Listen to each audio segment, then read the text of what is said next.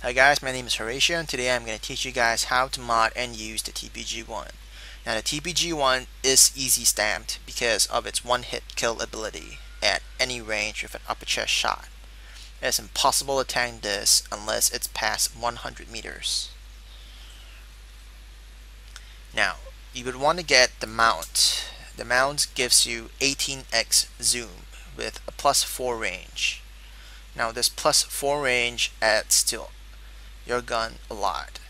It gives you a 99 meter one hit kill, which is why I said it's impossible to tank a shot unless you're past 100 meters, which there aren't any maps with 100 meter range in this game just yet. The Lapua Barrel. Lapua Barrel gives you plus 10 damage, 110 damage. This, of course, is really useful if you're poking walls to get hit shots.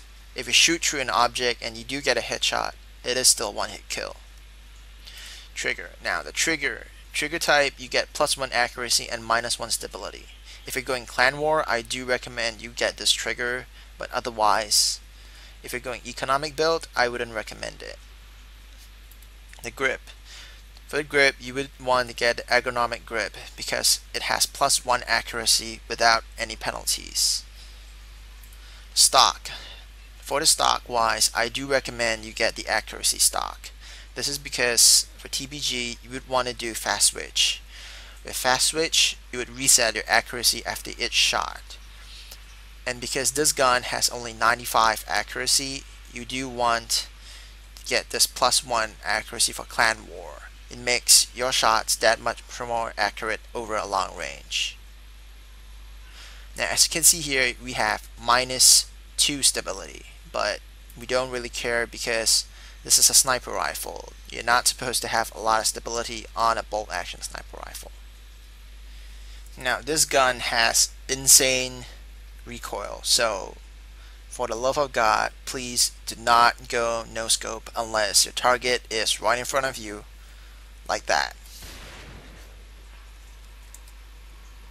Even at 1 meters your bullet may not hit your target.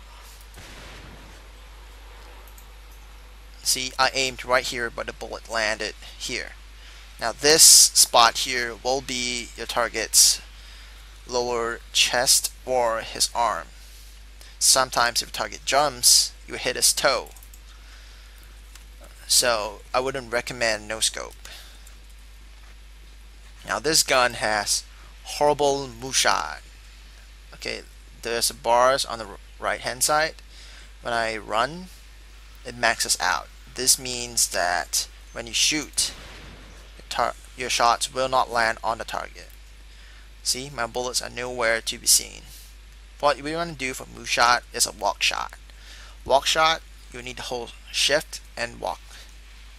Now with walk shot, you do not get any bars on the right side, which means you have you would have near dead center hits like such.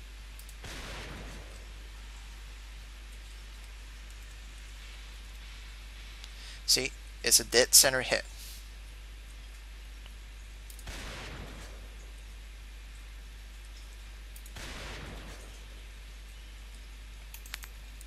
Now the TPG-1 goes through objects like sheet metal and wood. Let's say you have a target standing right here and pull out your TPG and put in a hit shot.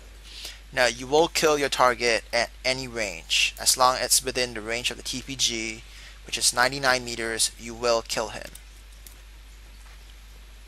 TPG is really easy to use. If you're a beginner, I do recommend you get the plus 2 ammo backpack and hide at a choke point. Let's say a door. You can hide at a door and camp there and wait for people to come past and pop off a shot. It's a one hit kill with an upper chest shot.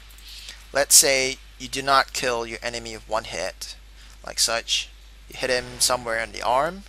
You will still deal around 80 damage. You swap out to your pistol and you put two or three rounds and the target dies. This gun is really easy to use. I did give it a 10 out of 10.